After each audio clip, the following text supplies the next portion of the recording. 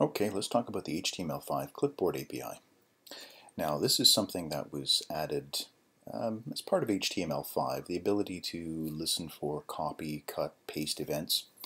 Um, probably one of the most common things you'd, used, you'd be used to seeing is when there's a code sample on a page somewhere and there's a button for copying that to the clipboard and then you can paste it someplace.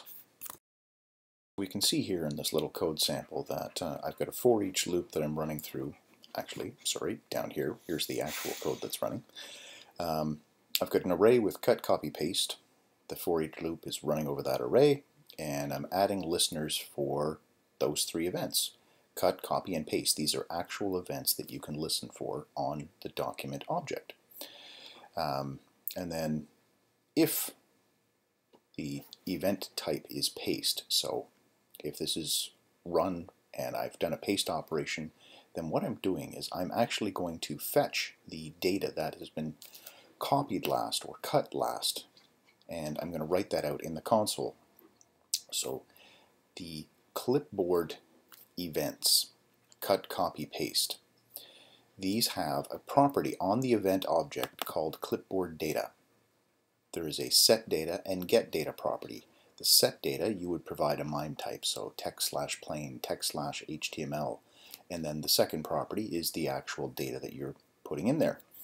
Uh, to retrieve it, get data, and then you just provide the type. I can say text, I can say HTML, whatever it is that I'm, I'm fetching. Now there are some limitations to this. Um, getting this to work cross-browser used to be a real nightmare. It's still not that fun. Um, but what we would do down here as the example, when I click this button, what I'm going to be doing is I'm getting the pre-element. The pre-element is the thing that has this content inside of it. So I'm getting that. I'm getting its text content. So this is what I'm going to copy right here. When I click this button, I'm fetching that content. Then to be able to do the copy and paste cross-browser, you have to create an input element. There has to be an input element and it has to have the focus on the page for the copy and paste operation to work. So I'm creating an input element, I'm adding it to the page. Now you can style it so it doesn't appear. It doesn't have to be visible on the page, it just has to be part of the page for the browsers to support this. You put the text inside of that input, you give the focus and select to that input, and then you call document exec command, copy. This is how you would copy the text that's inside this input. So you have to have the input, the input has to have focus. Then you call this copy command on that input. That's what's going to copy the, the text and put it into um, the clipboard. So you are limited to HTML, URLs, text, things like that. Now, not great, but it does work. So inside of here, I can, um, let's reload this page. I can click on copy this. There was the input created and the content was pasted inside. And the copy, that is this line right here, line 83, the console log event. That is the copy event that took place. I click this button and when it called exec command, this is actually triggering the copy event. So the event listener for copy is running. It wasn't a paste, so I didn't get this. Now what I'm going to do is I'm going to paste that content. I'm going to paste it inside of this div. The way I can do that is there is a content editable attribute that you can add to any piece of HTML that you want, and then you can let the user come in here and change what they want. So you can actually change HTML on the page by just adding this. You let your users make changes. Now inside of here, I can come in, I can do a cut, so Command X or Control X if you're on Windows. There, I've cut a bunch. I can cut a bunch more. Now, my last cut operation put this, what I removed, onto the clipboard. So when I paste, I'm pasting back what I just put there. So let's cut this again, paste again. So there we have it. Cut and paste is working inside of here. We could also copy. So let's say if I copy this second word here, copy, then I can do paste, paste, paste, paste, paste, paste, paste. You can see I'm just pasting the same word again and again. So copy and paste is working. Now that's a natural thing for the browser to be able to do. It's just because I've got content editable, that's how I'm changing this piece. So I'm going to delete all that. I'm going to come down here, I'm going to copy this again. So I'm copying that. It added the new input, it put the content inside there, and then it copied that to this last one right here, this last copy was the content being copied from this pre-element. Now if I come up in here, I can paste, and there it is. There is the content from here being copied in. All right, so that's the basic. That's the cross-browser supported. That one, you can try that out. This code sample, you can try it out on Firefox. You can do the same thing in there. So I can come in here and I can delete a bunch of stuff. Then I can copy this code sample, come back up into this first one and paste. There it is. So it works fine in Firefox. It's going to work in Opera as well. Copy, paste, there it is.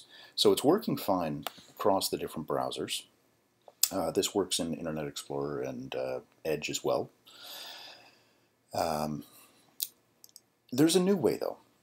It's not fully supported across all the browsers. So I'm going to comment this part out again here. There we are. There's a new promised based asynchronous version of this code.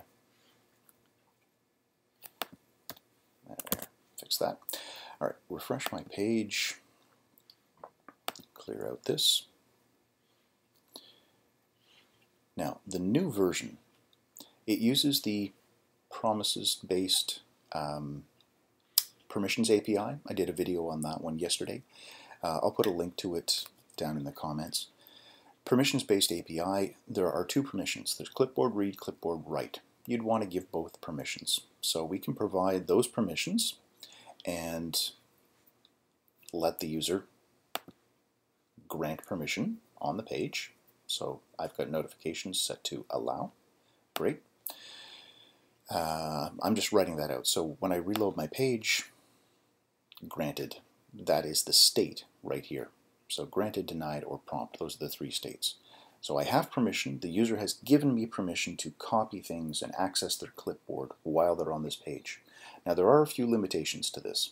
The new version, it works in Firefox and Chrome currently. You have to be running it over HTTPS or on localhost. It won't work if you're just on HTTP. It only works if the tab that you're on is the currently active tab. Here's the uh, little tab right here. So if the person wants to change it, they can do it through here as well. Um, only on the active tab, and uh, there's permissions for both read and write. So let's take a look and see how this same example would work, what we were doing before, with the new promise-based asynchronous version. They have, in the Navigator object, added an object called clipboard. The clipboard object has four methods read, read text, write, and write text. Write text and read text are for dealing with text. Read and write are going to allow you to do things like copy images into there, images onto the clipboard and then transfer those over. And it'll give us access to the system um, clipboard as well, or pasteboard if you're on Mac.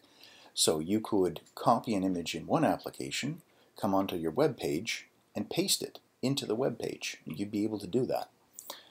Or copy an image from your web page into some other application, and you can control that with JavaScript.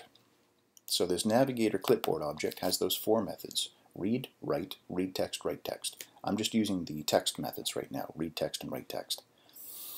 Um, first thing I'm doing is I'm getting the pre, which is, if you remember, the element that has all the code inside of here, and I'm calling write text which is taking this content and it's writing it to the clipboard. And that's why I'm getting this message copied to clipboard right here from line 53. This means that I took the text that was in the pre, right here, and I wrote that to the clipboard. The next line here, content in clipboard is this, content clipboard is, and I've retrieved using the read text. I have retrieved the information that was in the clipboard.